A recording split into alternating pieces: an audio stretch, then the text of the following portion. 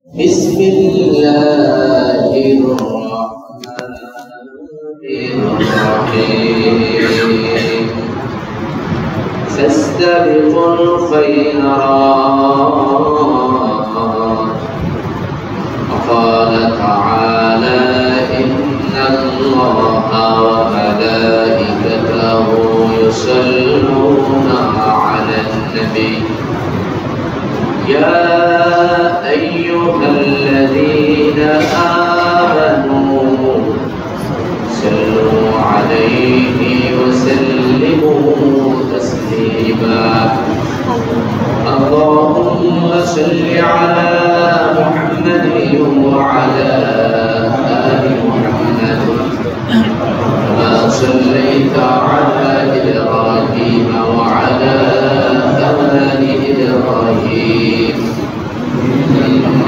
حميد مجيد.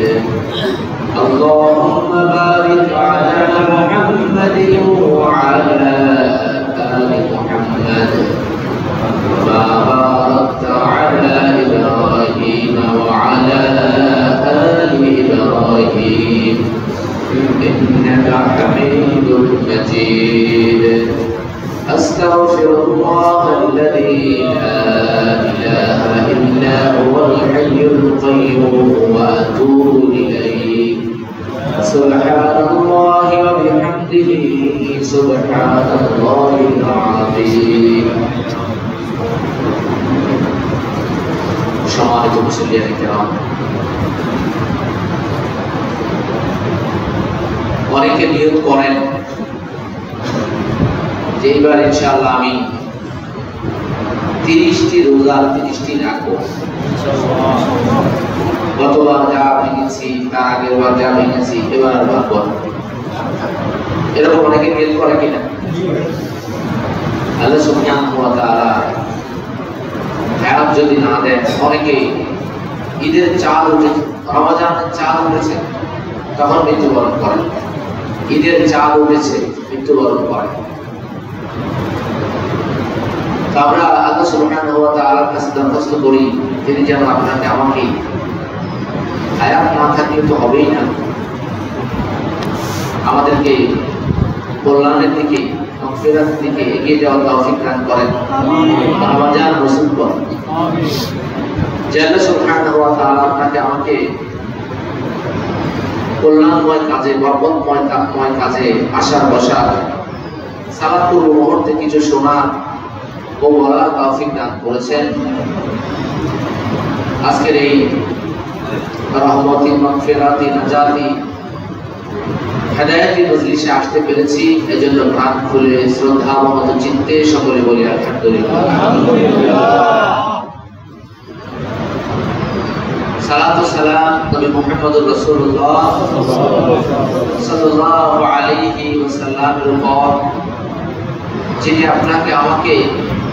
সব বিষয় শিক্ষা দিয়েছেন।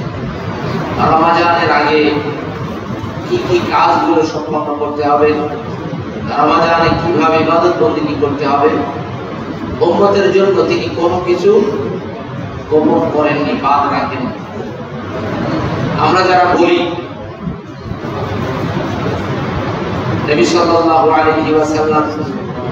এটা বলেননি, এটা করেননি, আমরা কি করতে পারব না? তিনি বলেননি, তিনি করেননি, উম্মতের উপর খরচ হয়ে যাবে বলে। নানা ফতুয়া দেখিয়ে এমন এমন ইবাদত বন্দিকে হাজির করে যেটা ইসলামের ভিতরেই নেই।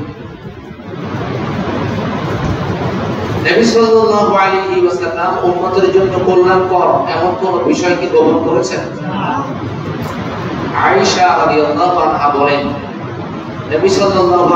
আল্লাহকে দেখেছেন যে বলবে, সে মৃত্যু যে বলবে নবী সাল্লাল্লাহু আলাইহি ওয়াসাল্লাম কিছু গ্রহণ করেছেন, ওই থেকে সে অর্থাৎ নবী সাল্লাল্লাহু আলাইহি ওয়াসাল্লাম কখনোই কোনো কিছু গোপন করেন সেই নবীর উপর সালাত সালাম আল্লাহুম্মা সাল্লি আলা মুহাম্মাদিন ওয়া আলা আলি মুহাম্মাদ। সম্মানিত মুসলিয়ানে কেরাম, আমাদের দেশে দেখবেন ইউটিউবে ফেসবুকে বিভিন্ন মসজিদে কোরআনের আয়াতকে, হাদিসের ব্যাখ্যাকে নানান ভাবে ঘুরিয়ে ফিরিয়ে অনেকে উপস্থাপন করে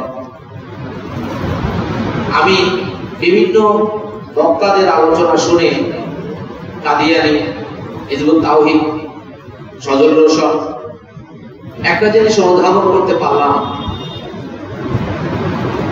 যারা মানুষকে ভুল পথে নিতে চায় তারা কতগুলো কৌশল অবলম্বন করে। আপনি দেখবেন, বর্তমানে তো সিরিপুরের ট্যাবলেট আর বিক্রি হয় না। বাসে উঠলে, ট্রেনে উঠলে আগে এটা কমন ছিল চ্যালেঞ্জ দিত। এখন যদি কারও পেটে ব্যথা থাকে, একটু বলেন এক্ষুনি যদি না থামে, তো আমি আর কোনোদিন এটা করব না। বা অনেকে এরকম মলম বিক্রি করতো, পান্ডা ঠান্ডার তেলে। এক্ষুনি যদি ভালো না হয় দাঁড়াইছে টাকা গেছে। এখন এটা একটু ওনার নিজের লোক, আল্লাহ ভালো জানে। অনেকে বলে এদের নাকি লোক সেট করা থাকে। লোকজন দেখছে যে ভালো হয়ে গেছে। বিভিন্ন জায়গায় দেখবেন কিছু কবিরাজ বের হয় মাঝে মাঝে। পত্র পত্রিকা বিভিন্ন জায়গায় এরা সাক্ষাৎকার দেয় বা সমাজে ছড়িয়ে পড়ে। মিরপুরে একটা মেয়ে ছিল প্রতিবন্ধী। উনি খালি হাত দিল আর ভালো হয়ে গেছে। এই মেয়ের ঠিকানাও আপনি পাবেন না ফোন পাবেন না বাড়ি নাম্বার বাসা নাম্বার কিছুই পাবেন না। এমতিজি এই শাপলা চত্বরের ঠিক কাছেই। ছোটকাল থেকে তার এই ডাইন পা অবশ ছিল। বা খালি ওনার চালটা একবার মালিশ করা হয়েছে, হাঁটা শুরু করছে। আমাদের খুলনার ভোমরা একবার এক মেয়ে আবিষ্কার হয়েছে। গাছের শিকড় দেয়, যত ধরনের রোগ ব্যাধি, বিশেষ করে হার্টের রোগ মানে যেই রোগগুলো আসলে সারতে একটু দেরি হয়, এগুলোর প্রচারণাটা এত বেশি হয়েছে, হার্টের রোগ, ডায়াবেটিস, আমাদের এলাকা থেকে মানুষ বাস নিয়ে হুমড়ি খেয়ে পড়েছে ওখানে। আমার চাচাতো ভাই, মুন্সি আছে আমাদের মসজিদে মাঝে মাঝে নামাজ পড়া কেউ না থাকে। উনি মসজিদে বসে বসে গল্প করছে আমার সামনে। রাজশাহীর এক মেয়ে জন্ম ভালো হয়ে গেছে বরিশালের এক ছেলে, ও কথা বলতে পারে না, ও ভালো হয়ে গেছে এরকম পাঁচটা, সাতটা বলল, আমি বললাম যে ভাই, একটার কি ঠিকানা বা মোবাইল নাম্বারটা দেওয়া যায়? একজনের কি দেওয়া যায় অন্তত? কথা তো নাই। আমি তো আন্দাজের কথা না বলে একটু কষ্ট করে একজনের ঠিকানাটা একটু বুঝে বাইর করা তারা দেখতে চাই। আধুনিক চিকিৎসা বিজ্ঞান ভালো করতে পারে না গাছের একটা শিকড় গলায় লাগালো, ভালো হয়ে গেল সেই লোকটার আমি দেখতে চাই যে লোকটা ভালো হয়েছে। না হয় মসজিদে বসে এই মিথ্যা কথা বলবেন না এবার বহু মানুষ সাক্ষী। আমি তো এরকম লাখ লাখ মানুষ সাক্ষী হইতে পারে কিন্তু কাজের গোড়ায় গেলে সবই মিথ্যা। আর আমি যদি বলি যে আমার দৈনিক একশো হাত উপরে সালাত আদায় করেন। আর উপর থেকে একটা নূর তার উপর বসিত হয়। ম্যাক্সিমাম বিশ্বাসের ঘটনা কিন্তু এরকম। আবু বকর, ওনার জীবনে একটা না দুইটা কারামত ছিল। অমর রাজি আল্লাহ যুগে দুইটা কারামত ছিল। সাহাবিদের মধ্যে সর্বসাকুল্যে সহি হাদিসে আমি একটা সংকলন করেছি যে কতজন সাহাবি কারামত দেখাতে পেরেছেন বা কারামত প্রকাশিত হয়েছে, কারামত কেউ দেখাতে পারে না। আমি চাইলে এখন পকেটে হাত দিয়ে আমরা হাতকে উজ্জ্বল করতে পারব না। হয়তো ওয়াজ করছি, কোন এক সময় উজ্জ্বল হয়ে যেতে পারে। আল্লাহর ইচ্ছা কার ইচ্ছা। কিন্তু আমাদের দেশের পীর সাহেবরা নিজেরাই কেরামত দেখান। যা ইসলাম সমর্থন করে না। কেউ কেরামত দেখাতে পারে না। কেরামত কি হয়? প্রকাশিত হয়। কীভাবে প্রকাশিত হয়? তার নিজের ইচ্ছার বাইরে প্রকাশিত হয়। বলেন কেরামত কীভাবে প্রকাশিত হয়? নিজের ইচ্ছার বাইরে প্রকাশিত হয়। মৌজেদা দেখাতে হলেও আল্লাহর অনুমতি লাগে কোরআন স্পষ্ট বলা হয়েছে। আমাদের দেশে মানুষ যখন কোন ঘটনা বর্ণনা করে কিছু থাকে দলিল খেয়াল করেন কিছু থাকে কি? কিছু থাকে আবেগ। কি থাকে? আবেগ। কিছু থাকে আরেকজনকে ঘায়ল করার দলিল। হিজবুত তাওহীদের একটা আলোচনা শুনবেন। আপনি দাঁড়িয়ে কথা বলছেন, এই দেশের সরকার আশি পার্সেন্ট মানুষ নামাজ পড়ে না। আপনাকে প্রশ্ন করা হয়েছে দাঁড়িয়ে ব্যাপার, আপনি নামাজের কাছে কেন আসছেন? মানে আরেকটা কথা দিয়ে মানুষকে ব্ল্যাকমেল করার একটা নতুন পদ্ধতি আবিষ্কার হয়েছে। বলছে যে এক ভাই প্রশ্ন করেছে যে, আপনার দাড়ি নেই কেন? আপনার দাড়ি তো ছোট। লোকজন প্রশ্ন করছে, এমামুজ্জামানের কাছে দাড়ি ছোট কেন? কারণ উনি উত্তর দিবেন না দাড়ির ব্যাপারে। কি ব্যাপারে? দাড়ির ব্যাপারে না উত্তর দিবেন? যে, ভাই, আসলে আমার একটা নোকসানিয়াত আছে। আমি একটু দাড়িটা রাখতে পারিনি সরি দুঃখিত। এটা না উনি উত্তর দিবেন? উনি কি উত্তর দিচ্ছে দেখেন? শতকরা আশি পার্সেন্ট মানুষ নামাজ পড়ে না। শতকরা নব্বই পার্সেন্ট মানুষ সুদ খায় শতকরা একশো পার্সেন্ট মানুষ দুর্নীতি করে। আপনি এসেছেন দাড়ির ব্যাপারে প্রশ্ন করতে। দেখেন, কি দিয়ে কি বলছে? সাধারণ মানুষ বলছে, জি, আসলে এটা করা হচ্ছে কি? ব্ল্যাকমেইল করা হচ্ছে। প্রশ্ন করা হয়েছে দাড়ির ব্যাপারে। উত্তর দেওয়া হচ্ছে কোথায়? ঘুষের ব্যাপারে। তাহলে প্রথম নম্বর হচ্ছে কিছু দলিল আছে। আল্লাহ বলেন যাকাত। নামাজ পড়ো, যাকাত দাও। আপনি কি কোনোদিন যাকাত দিয়েছেন? এবার ব্ল্যাকমেইল শুরু আপনি তো যাকাত খাচ্ছেন। আপনাকে তো এই বিষয়ে আলোচনা করতে বলা হয় দলিল একটা আবেগ আর একটা, আরেকজনকে ঘায়েল করার বিষয় আলোচনা। আমাকে প্রশ্ন করা হয়েছে, হুজুর মাথায় সাদা রুমাল দেন কেন? আমি যদি বলি বহু মুসল্লি আছে মাথায় টুপি নাই। আপনি কেন আবার সাদা রুমাল নিয়ে টানাটানি করছেন আপনার ইমানই তো দুর্বল। এটা কি প্রশ্ন উত্তর দেওয়া হয়েছে? না মুসল্লিদেরকে ব্ল্যাকমেইল করা হচ্ছে। ব্ল্যাকমেইল করা হচ্ছে না? তো আপনারা দেখবেন ইউটিউবে এই জিনিসগুলো খুব অহরহ ঘটছে। একটা দেওয়া হচ্ছে দলিল দেওয়া হচ্ছে আবেগ করা হচ্ছে আনা হচ্ছে জাল জয়ী হাদিস। এই দেশের সব তারা একশো ভাগ মানুষ জানে না আমাদের মাসা মাসলা মাসায়। আপনার তো মাসলা মাসায় জিজ্ঞেস করা হয় জিজ্ঞেস করা হয়েছে দাড়ি সম্পর্কে।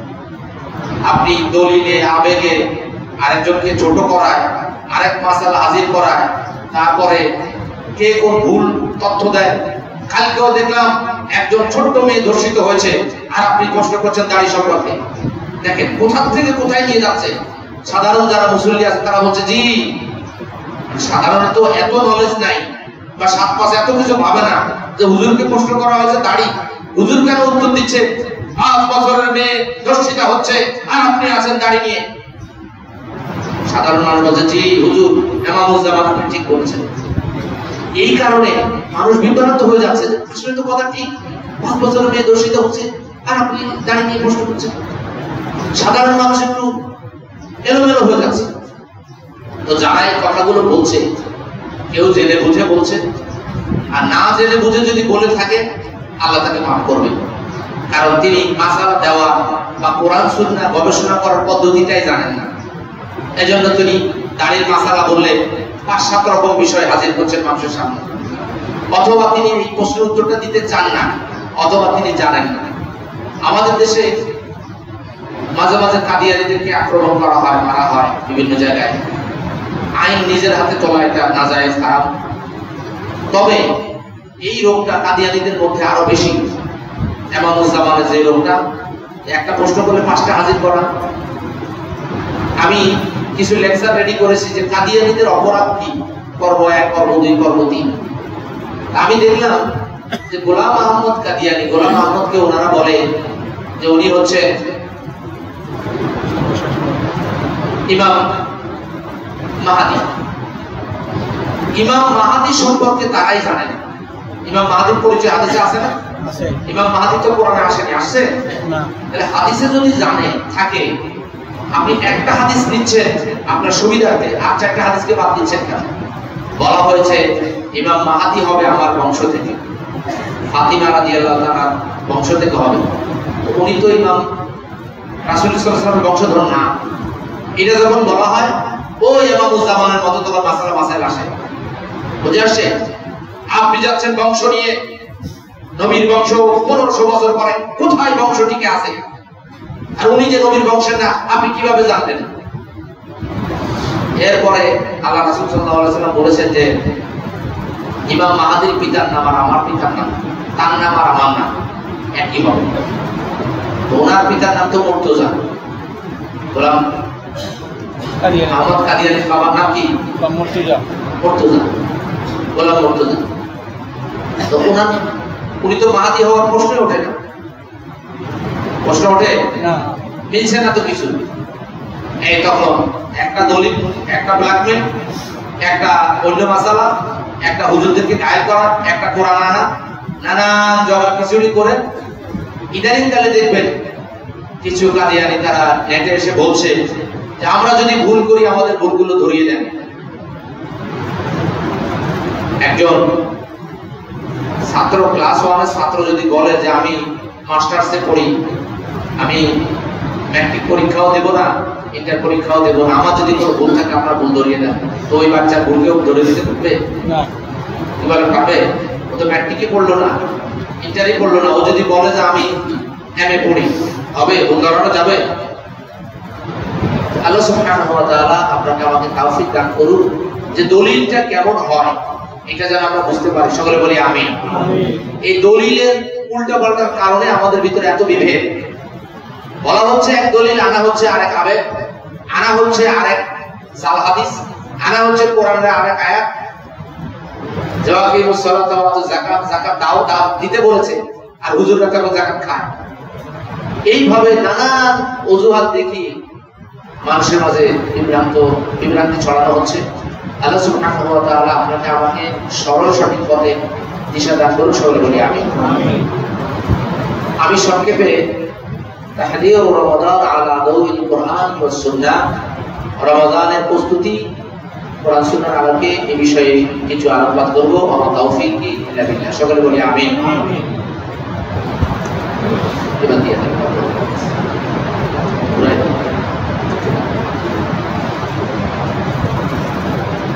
আল্লাহ রাব্বুল আলামিন বলেন, দুই নম্বর সূরা সূরা আল-বাকারা 48 148 নম্বর আয়াত ফাসতাবিকুল খায়রাত ভালো কাজে, কল্যাণকর কাজে তোমরা অগ্রসর হও। কল্যাণকর কাজ কি? যা কিছু আল্লাহ সুবহানাহু ওয়া তাআলা আপনাকে আমাকে নির্দেশ প্রদান করেছেন। এই কাজগুলো হলো কল্যাণকর কাজ। রাসূলুল্লাহ সাল্লাল্লাহু আলাইহি ওয়াসাল্লাম যা দিয়েছেন আপনাকে আমাকে, এগুলো কাজ। যা থেকে নিষেধ করেছেন, এগুলো সবই কেননা নবী সাল্লাল্লাহু আলাইহি ওয়াসাল্লাম কোন কাজ থেকে নিষেধ আর তার মধ্যে কল্যাণ থাকতে পারে, এটা কখনো হতে পারে না। নবী সাল্লাল্লাহু আলাইহি ওয়াসাল্লাম আপনাকে আমাকে কি দিয়েছেন কি দেননি? এই বিষয়টা জানতে হলে আপনাকে আমাকে সহি হাদিসের দ্বারস্থ হতে হবে। জয়ীফ হাদিস শুধুমাত্র ফাজাইলের ক্ষেত্রে প্রযোজ্য বলে ইমামরা মত দিয়েছেন, তবে তাতেও কিছু শর্ত রয়েছে। সেই জয়ীফ হাদিস অতিরিক্ত জয়ীফ হওয়া যাবে না। সহি হাদিসের বিপরীত আসা যাবে না। রাসুলের দিকে সেই হাদিসকে নিসবত করা যাবে না, যেটা রাসুলের হাদিস। রাসুলের দিকে বলা গেলে এটা তো সহি হাদিস হয়ে গেল। যেই বিষয়ে ফাজাইল বর্ণনা করতে হবে, ওই বিষয়ের মৌলিক মূল বিষয়টা কোরআন সুন্নাহ দ্বারা প্রমাণিত হওয়া লাগবে। এটা শুধুমাত্র অতিরিক্ত ফায়দা দিবে। যেমন হুজুর অনেক ফজিলত আছে। এর একটা জয়ীফ হাদিস দিয়েও আপনি ফজিলত বর্ণনা করবেন তাতে কোনো সমস্যা নেই। কিন্তু জয়ীফ হাদিস দ্বারা আপনি এই সাব্যস্ত করতে পারবেন না যে উজুর শেষে বাম দিকে তিনবার ধুতু করতে হবে। বা উজুর শেষে এক মুষ্টি পানি মাথার উপর ঢেলে দিতে হবে। এটা জয়ীফ হাদিস দ্বারা আপনি সাব্যস্ত করতে পারবেন না। আপনি বলতে পারবেন যে, উজু শেষে এই দোয়া পড়লে সহি হাদিসে এটা আছে জয়ীফ হাদিসেও আছে। অতিরিক্ত ফায়দা দিবে। কিন্তু জয়ীফ হাদিস দ্বারা আবার কোনো দোয়া পাঠ করা যাবে না। এই যে আমরা দোয়া পাঠ করি না বারিক রমাদান। এটা দুইজন রাবি অভিযুক্ত, তিনজন রাবি অভিযুক্ত। তাহলে দোয়া পাঠ করতে হলে দোয়াটা সুন্নত হবে। তাহলে সুন্নত তার ফজিলত হয় না। দোয়ার ক্ষেত্রে এই জায়গায় একটা সুরি আছে। এই জায়গায় একটা মানে এই ব্যাখ্যাতেও একটা ব্ল্যাকমেল আছে। ফাজাইলের ক্ষেত্রে প্রযোজ্য, আমলের ক্ষেত্রে প্রযোজ্য না। আমি যখন একটা দোয়া পড়ব, এটা ফাজাইল থাকবে না, আমল থাকবে কি হবে? আমল হবে না। আমি যখন মসজিদে ঢোকার দোয়া পড়ব, এই দোয়াটা কি হবে, সুন্নত না অন্য কিছু। সুন্নত কি না? আমরা সবাই জানি, সব ইমামেতে এক মত যে কোন সুন্নত কায়েমের জন্য, মোস্তাহাব কায়েমের জন্য কমপক্ষে কি লাগবে? হাসান হাদিস লাগবে। কি হাদিস লাগবে? হাসান হাদিস লাগবে। তাহলে আমি দোয়াটা কীভাবে পাঠ করি? হ্যাঁ আমরা এটা বলতে পারি যে সাধারণ কথা হিসাবে কেউ হয়তো বানিয়ে দিয়েছে বা এটা প্রমাণিত হয়নি, সনদের ত্রুটি রয়েছে, দুইজন রাবি তিনজন রাবি অভিযুক্ত আছে। আমরা সাধারণ কথা হিসেবে বলতে পারি, দোয়া হিসাবে না, কিন্তু এটা বলাই হয় দোয়া। কি বলা হয়? দোয়া। আমি যদি এরকম জয়ীফ হাদিসের অনেক দোয়া আনি, অনেকে বলব যে এটা সহি হাদিসে নাই। অতএব, কোন দোয়া পাঠের জন্য সহি হাদিস প্রযোজ্য জয়ীফ হাদিস দোয়ার জন্য প্রযোজ্য না। শুধুমাত্র ফাজাইলের ক্ষেত্রে জয়ীফ হাদিস প্রযোজ্য কারণ সব ইমামেতে একমত না। কোন কোন ইমাম মত দিয়েছেন। তারা আবার শর্ত আরোপ করেছেন। কারণ হাদিস কখন জয়ীফ হয়? যখন রাবি শুনেছেন কি শুনেননি? কি আবু বকর রাদিয়াল্লাহু তাআলা থেকে শুনলেন? না, ওসমান থেকে শুনলেন ওনার মনে নাই। উনি কি এটা শুনেছেন না এটা শুনেছেন এটাও মনে নাই? বলেন তো আন্দাজের উপর, তাহলে হাদিসটা হইতে পারে। এটাকেই বলা হয় দুর্বল হাদিস। মানে যিনি বর্ণনা করছেন, তিনি একবার এক কথা বলছেন অথবা তার মনে নাই, স্মৃতিশক্তি ঠিক নাই। এখন স্মৃতিশক্তিহীন একজন লোক যদি আমার সামনে এসে বলে, বা হুজুর, এই জায়গায় উনিশশো একাত্তর সালে বিশাল বড় একটা স্টেডিয়াম ছিল। একজন পাশ থেকে আমার টিপ টিপে বা হুজুর, উনি মিরপুর স্টেডিয়ামের কথা বলছেন, এই জায়গায় না তারা অনেক কিছু ভুলে আছে না এরকম? অতএব, এক জায়গার বিষয় আরেক জায়গার সাথে মিলানো, এটাও একটা প্রতারণা। আল্লাহ আমাদেরকে তাওফিক দান করুন। সকলে বলি আমি তাহলে প্রথম প্রস্তুতি কি? শারীরিক এবং মানসিক প্রস্তুতি। শারীরিক এবং মানসিক প্রস্তুতি। আমার একটা গল্প করেছিলেন। উনি মুসা সালামের কথা বলেছেন, তবে নবীদের ব্যাপারে এই সমস্ত কথা বলতে গেলে দলিল লাগে। আমি সাধারণ কথা হিসাবে বলছি। কোন নবীর যুগে ঘটেছে, বিষয়টি এমন না। একজন খবর দিল যে আগামীকাল রমজানের চাঁদ উঠবে বা দুই একদিনের ভিতরে চাঁদ উঠবে, আমরা সিয়াম পালন করব। এই এই নিয়মে তোমাদের সিয়াম পালন করতে হবে। তোমাদেরকে এই টাইমে খেতে হবে আর এই টাইমে ইফতার করতে হবে। সবাই রাজি আছো তো? রাজি আছি। তো সমাজে কিছু লোক আছে না, একটু দুষ্ট বুদ্ধি সম্পন্ন? এরা বলতেছে, কয়, আমাদের ইমাম সাহেব পড়া এটা বুঝাতে চাইছে যে আমাদের খাদ্য খাবার হয়তো বেশি অপচয় হবে বা কোনো প্রাণী এসে আমাদের খাদ্য খাবার খেয়ে যাবে। এই জন্য উনি মনে হয় এটা ইয়ে করছে যে আমাদের খাদ্য খাবার যাতে অপচয় না হয়। তো সবাই মিলে বুঝতে শুরু করল যে এরকম প্রাণী কোথায় পাওয়া যায়, যার কারণে আমাদের উপবাস থাকা লাগে। তো বুঝে বুঝে একটা হাতি পাইছে। সবাই মিলে হাতি আওতা করে এসে বলছে, বা হুজুর, আমাদের রোজা টোজা রাখা লাগবে না। কেন? আপনারা বলছেন যে সিয়াম পালন করতে হবে। উপবাস থাকতে হবে। আমরা চিন্তা করলাম, উপবাস কেন থাকব?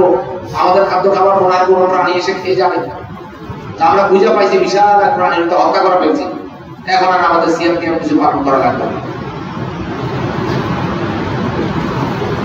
তো মূলত বিষয়টি এমন নয়। রমজানের আগে নবী সাল্লাল্লাহু আলাইহি ওয়াসাল্লাম কীভাবে প্রস্তুতি গ্রহণ করেছেন জানা দরকার আছে না নাই? নবী সাল্লাল্লাহু আলাইহি ওয়াসাল্লামের প্রস্তুতি আর আমাদের প্রস্তুতির মাঝে আকাশ আর পাতালের পার্থক্য। তার প্রস্তুতি ছিল কোরআন, সুন্নাহ সম্মত, আল্লাহর সন্তুষ্টির পথে। আর আমাদের প্রস্তুতি ম্যাক্সিমাম প্রস্তুতি, অনেকের প্রস্তুতি দুনিয়ার বিষয়। রমজান আসছে, জিনিসপত্রের দাম বাড়ানো দরকার, গুদামজাত করা দরকার। এখন এটা ধরে রেখে রমজানের ভিতরে ছাড়া দরকার। ইত্যাদি ইত্যাদি, নানা ধরনের প্রস্তুতি আমরা নেওয়া শুরু করি দুনিয়া সংক্রান্ত।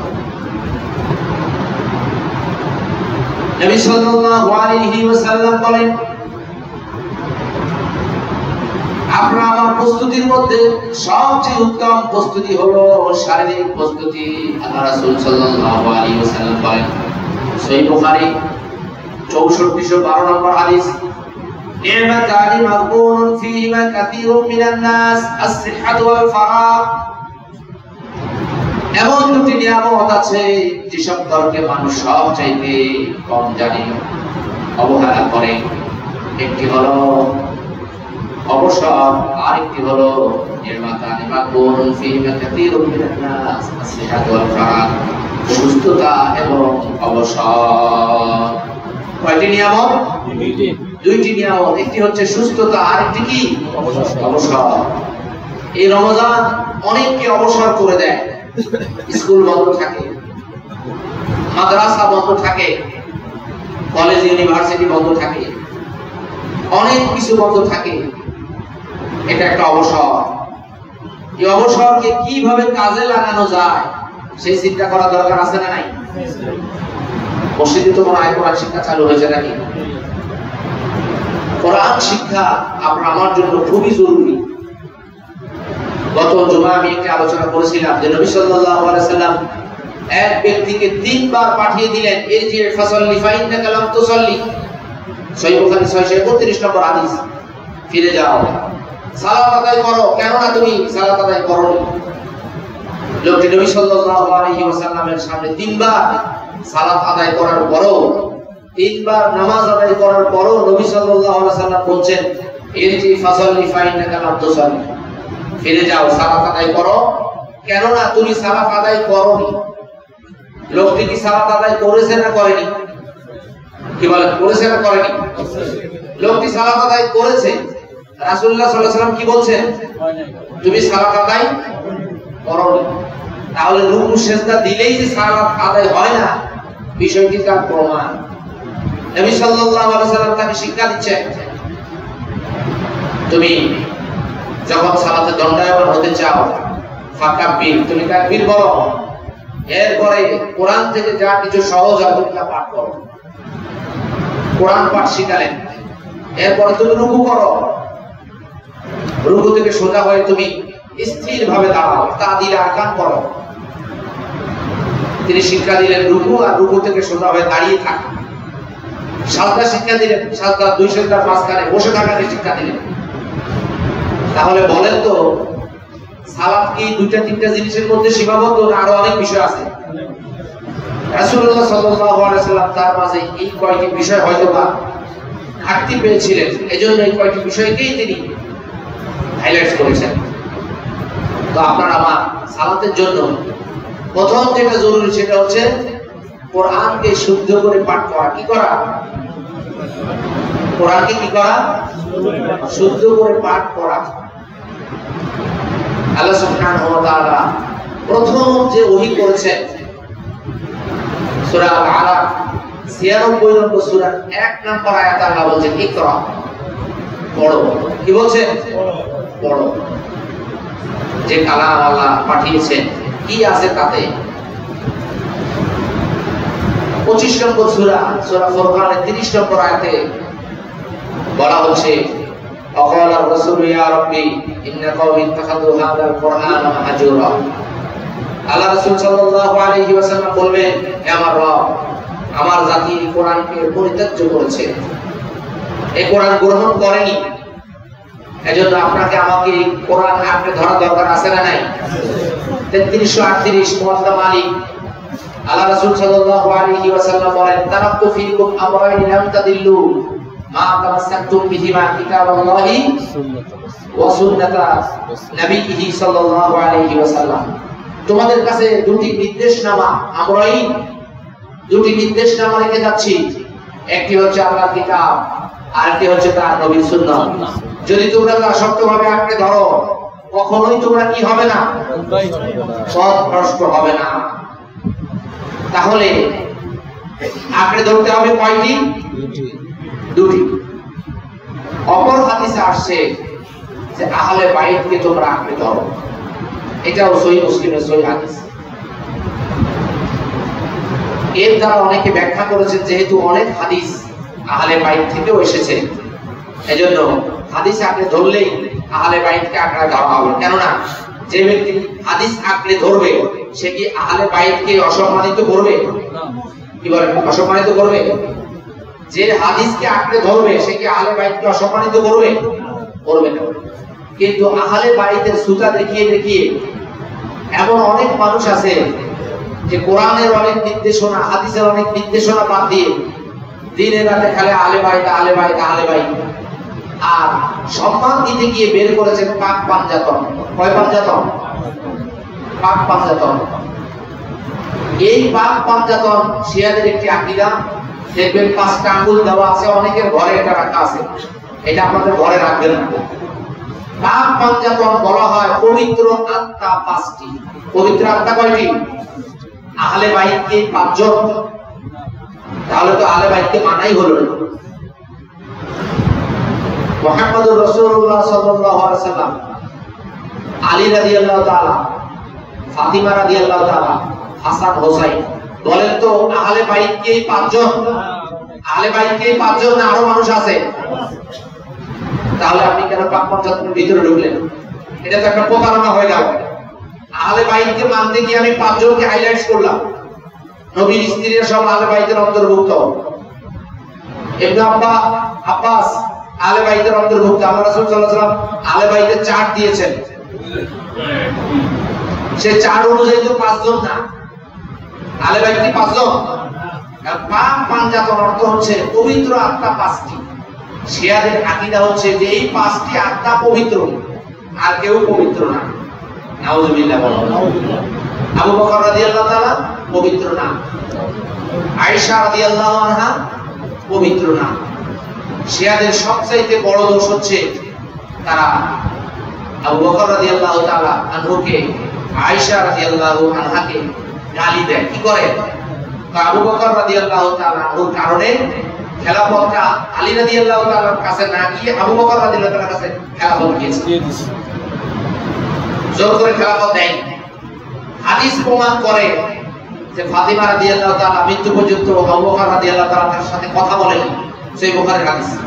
সেই হাদিস। তিনি কথা বলেননি কেন? ফাতিমা রাদিয়াল্লাহু আনহা, তিনি গিয়ে নবী সাল্লাল্লাহু আলাইহি ওয়াসাল্লামের ওয়ারিশ চেয়েছিলেন। কি চেয়েছিলেন? ওয়ারিশ। ফাতিমা রাদিয়াল্লাহু তাআলা বলেছিলেন যে আপনি আমাদেরকে ওয়ারিশ দান করেন। আমার নবী তো বাচ্চা ছিলেন, অনেক কিছু ছিল ওয়ারিশ দেন। তখন তিনি একখানা হাদিস বলেছেন যে নবীরা কোনো দিনার দিরহাম রেখে যান না। নবীরা রেখে যান কি? জ্ঞান। কি রেখে যান? জ্ঞান। এই হাদিস আবু বকর রাদিয়াল্লাহু তাআলা ওমর রাদিয়াল্লাহু তাআলা কে আলী রাদিয়াল্লাহু তাআলা আনহু জানতেন। হয়তো বা ফাতেমা রাদিয়াল্লাহু আনহার জানা ছিল না। এই জন্য তিনি ওয়ারিশ চাইতে গিয়েছিলেন যে আমার বাবার সহায় সম্পত্তি ধন ভান্ডার রত্ন কি কি আছে সব দান করেন। বের করেন সব। উনি বলেছেন নবীরা কোনো দিনার দিরহাম রেখে যান শিয়ারা এই দলিলটাই দেন যে ফাতিমা রাদিয়াল্লাহু তাআলা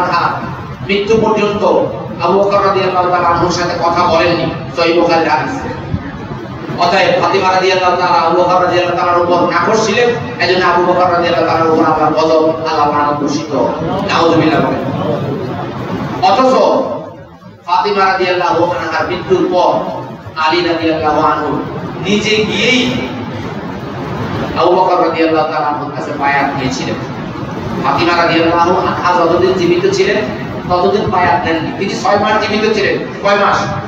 ছয় মাস। যাই হোক সহি বুখারীর দলিল দিলেই দলিল হবে না। কোরআনের দলিল দিলেই দলিল হবে না। দলিলটা বক্রতা মুক্ত থাকতে হবে। বলে তারা কোরআন থেকেই দলিল দিচ্ছে সহি বোখারি থেকেই দলিল দিচ্ছে। কিন্তু দলিলটা কি না? বক্রতা মুক্ত না। আমাদের দেশে অনেকে সন্তানের নাম রাখেন আমির হোসাইন, আমির হাসান। এই হাসান হোসাইন আপনি পুরো নামটাই রাখেন যে আমার ছেলের নাম হচ্ছে হাসান। এই নামের শেষে হাসান হোসাইন রাখা, এটাও শিয়াদের একটা চক্রান্ত। শুধুমাত্র হাসান হোসাইনকে হাইলাইটস করে কেন? আহলে বাইদের ভিতরে কি আর কেউ নাই? কি বলেন নাই?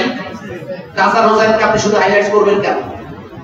নবী সাল্লাল্লাহু আলাইহি ওয়াসাল্লামের সাহাবী ওসমান রাদিয়াল্লাহু তাআলা কি শহীদ হননি? কি বলেন শহীদ হননি? হাসান হুসাইনের শাহাদাতকে বেশি হাইলাইট করা হয় আর ওসমান রাদিয়াল্লাহু তাআলা শাহাদাতকে দেখানোই হয় না। দুটোই দেখা। যে হোসেন রাদিয়াল্লাহু তাআলাকে নির্মমভাবে হত্যা করেছে। অনুরূপ ভাবে ওসমান রাদিয়াল্লাহু তাআলা আনহুকেও নির্মমভাবে হত্যা করা হয়েছে। ঠিক কি না একজনকে হাইলাইট করা হচ্ছে। আরেকজনের নামই নেওয়া হচ্ছে না। কি বোঝা গেল? দলিল একটু ঘাপলা আছে না? না বুঝেন না আপনার বিষয়টা? দলিলে ঘাপলা আছে কিনা? রাদিয়াল্লাহু তাআলা ফজরের আদায় করছিলেন। আর আবু লুলু তার পেটের ভিতরে ছুরি ঢুকিয়ে দেন। তিনি শাহাদাত বরণ করেন। আরও অনেক সময় নিয়ে। ওমর রাদিয়াল্লাহু তাআলার ব্যাপারে তো কখনোই বলা হয় না। বলা হয় শুধুমাত্র হুসাইন রাদিয়াল্লাহু তাআলার ব্যাপারেই বলা হচ্ছে। আর কারোর ব্যাপারে বলা হচ্ছে না। এটাও একটা চক্রান্ত। হোসাইন রাজি আল্লাহ তাআলাকে শাহাদাত করা হয়েছে, এজন্য আমরা মর্মাহত। এটাও আমরা যেমন বলব ওসমান রাজি আল্লাহ তাআলাকে কোরআন পাঠরত অবস্থায় শাহাদাত করা হয়েছে, এটাও মর্মাহত, এটাও আমরা বলব। ওমর রাজি আল্লাহ তাআলাকে চক্রান্ত করে নামাজরত অবস্থায় হত্যা করা হয়েছে, এটাও আমরা বলব। সব বাদ দিয়ে শুধু একটা বলা। এটা কি সঠিক? না, আপনারা বুঝতে পারেন নাই। নামাজ শেষে আবার বলবেন যে, হুজুর হোসেন রাজি আল্লাহ তাআলার বিরুদ্ধেই কথা বলে গেল। এত ওয়াহাবির গোষ্ঠী, এই মসজিদে এসে হাজির হয়েছে। এটা বলবেন কিনা আমি বলছি যে, দলিল হবে ব্যালেন্স ওয়ালা দলিল। কি হবে?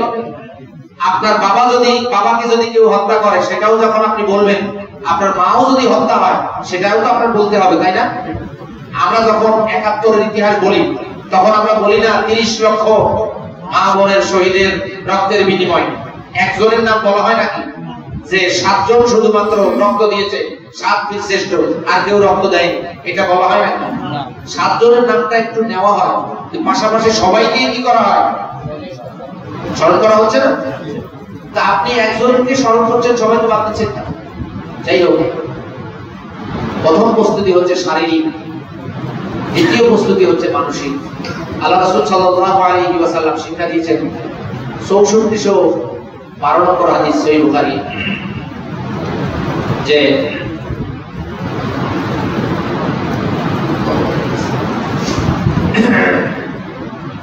একবার গরম লাগছে, একবার ঠান্ডা লাগছে। আসলে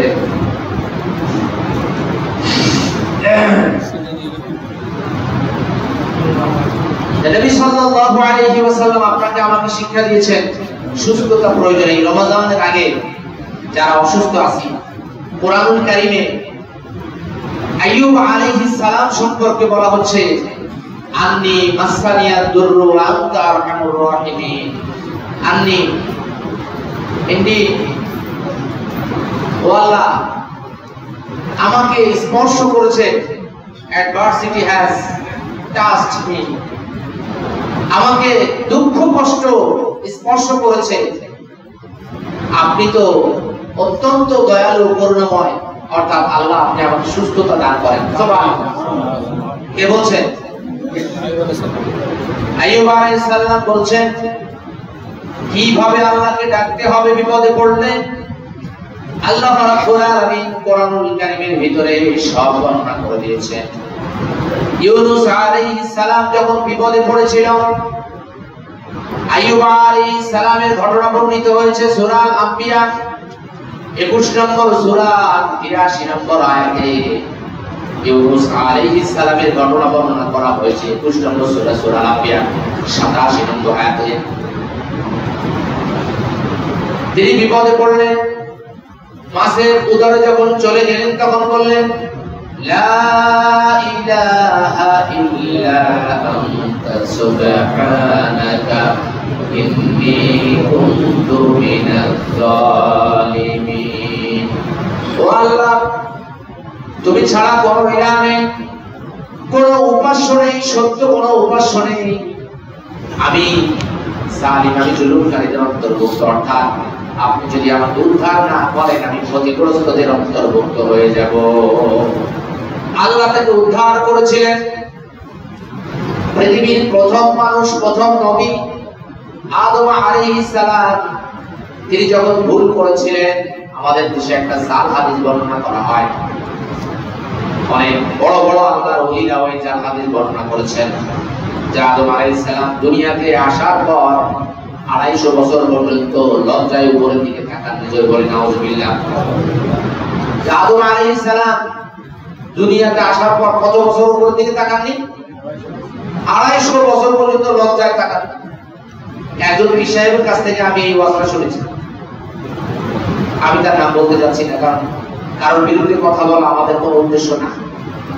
বরং সত্য সঠিকটা তুলে ধরার উদ্দেশ্য। আল্লাহ বলছেন, দুই নম্বর সূরা চৌত্রিশ নম্বর আয়াত থেকে আটত্রিশ নম্বর আয়াত পর্যন্ত فتلقى آدم من ربه كلمات فتاب عليه فتلقى آدم من من ربه كلمات فتاب عليه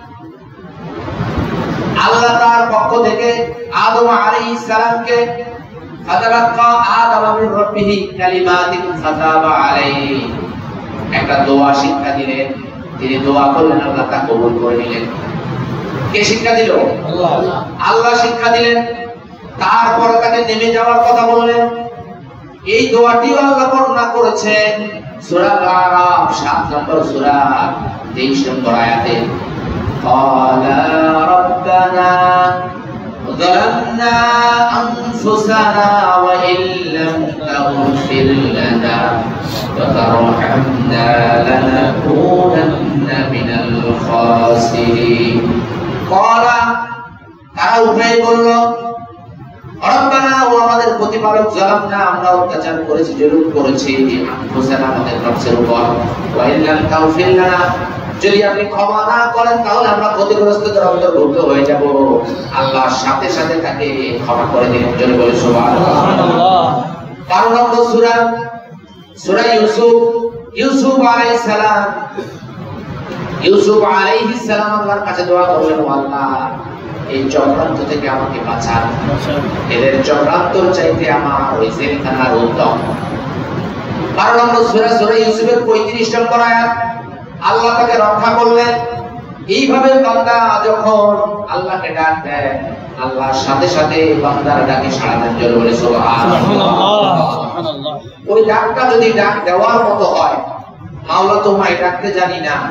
ডাকার মতো ডাকলে মাওলা কেমনে শুনে? একটা গজল আছে, ওখানে খোদা বলা হয়েছে। খোদা বলা তো ঠিক না। কারণ আল্লাহর কোন নাম কি খোদা আছে? খোদা বলাটা অনুচিত। কেন অনুচিত? সাত নম্বর সুরের একশো আশি নম্বর আয়াতে আল্লাহ বলছেন যে আছে সুন্দর সুন্দর নাম। তোমরা সেই নামে আল্লাহকে ডাকো। অর্থাৎ আল্লাহ নির্দেশ দিচ্ছে আল্লাহ শ্রীপতি নামে ডাকার জন্য। তাহলে আল্লাহর নির্দেশ এখানে অমান্য হচ্ছে। কি হচ্ছে? আপনি খোদা বললে যে গুনাহ হবে, শিরক হবে, বিষয়টি এমন নাও হতে পারে। আবার যদি আপনার নিয়তুল জামানা থাকে হতেও পারে।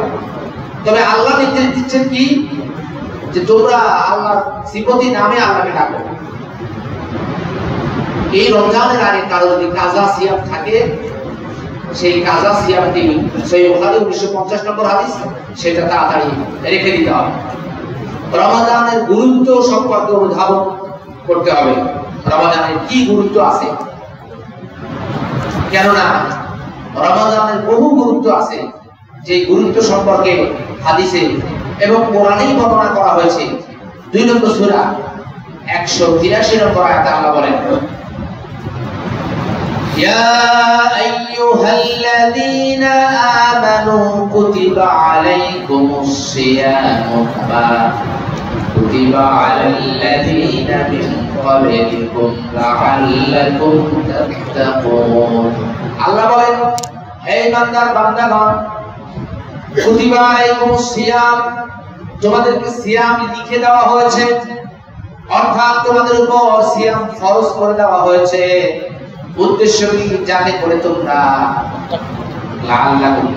যাতে করে তোমরা হতে পারো, আল্লাহ হতে পারো বলি কি হতে পারো? আল্লাহ যাতে করে তোমরা হতে পারো।